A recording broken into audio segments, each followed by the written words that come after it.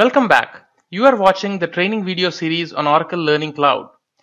In this video, you will learn about specializations, how they are different from courses, and how learning specialists can create and use specializations to drive learning in their organizations.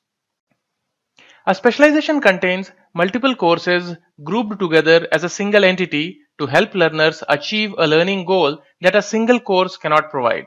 Think of specialization as a curriculum or learning path. Specialization is made up of sections and sections have activities that point to the existing courses from the catalog.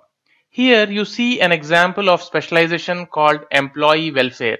It has two sections. Section 1 is related to workplace safety and section 2 is about wellness.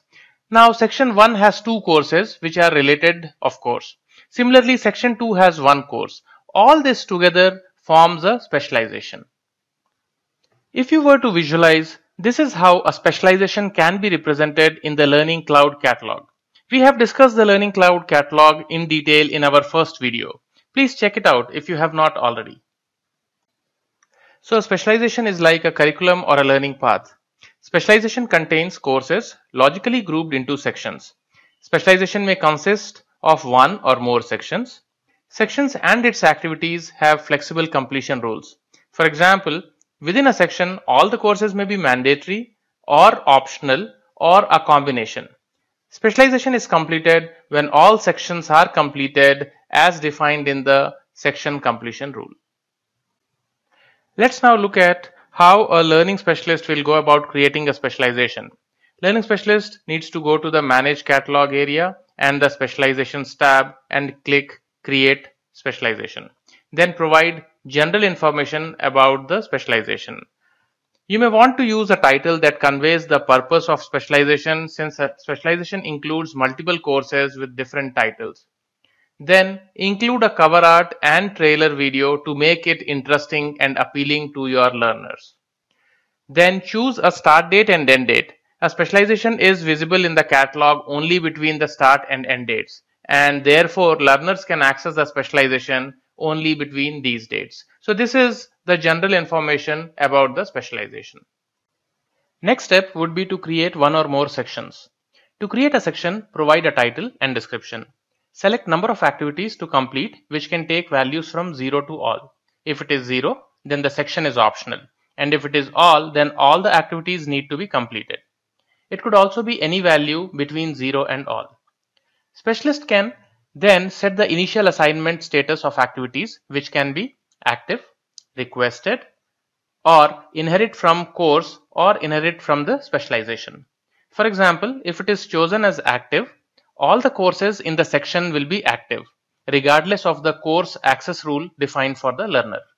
This setting can help drive assignment from the specialization rather than the individual courses.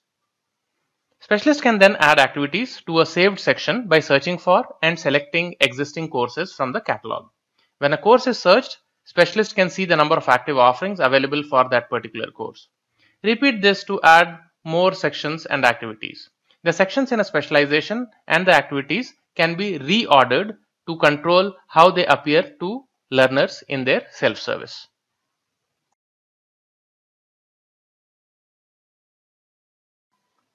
Let us now see how this looks inside the application. This screenshot is about create specialization, the first step where you need to provide the general information about the specialization. So here learning specialist provides the title, description and the published start and end dates. Learning specialist can also add the cover art and trailer suitably. Next you would create a section. So to create a section provide the title, description, number of activities to complete and the initial assignment status of activities within this section. A section is created when you have saved the section in the previous step. Next the specialist would add activities by selecting the course from the catalog. A section can have one or more activities. That would complete creation of a section. Specialist could add more than one section to create the specialization. A learner who has been assigned a specialization would need to complete all the sections to complete the specialization. As we saw previously, A section can have zero or all activities that need to be completed to complete the section. When all sections are completed as defined in the section completion rule, the specialization is completed for the learner. Now, if this specialization has courses which learner has previously completed, learner need not complete it again. Such courses will be counted towards completion of the specialization. Now that we have seen how a specialization is created and can be completed, let's see how it is different than a course and when it may be used. Course is typically focused on a single topic. Example, health and safety, ergonomics, etc. Specialization is used for larger learning objective and it is created by reusing and packaging various related courses. Example, employee welfare is a specialization which is created by reusing three existing courses. There are two courses which are logically related, so they are grouped under one section called workplace safety. Then there is another section called wellness and it has a course on ergonomics. So sections with the courses within them form the specialization which can impart larger learning to its learners. Let's wrap this topic by discussing a real-time use case. A learning specialist is required to create a training for a bunch of recently hired retail associates in a retail company. The training should cover various topics needed for them to be effective at work. Learning specialist puts together a specialization titled New Hire Onboarding for Retail Associates 2019. He then uses existing courses from the company learning catalog.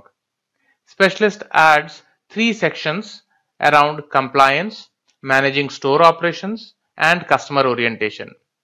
Then he adds courses from the learning catalog and puts them into relevant sections. The new hired retail associates are expected to complete the specialization as part of their onboarding tasks. So that concludes the video on managing specializations. Hope you found it useful. Please check out other videos from this training series.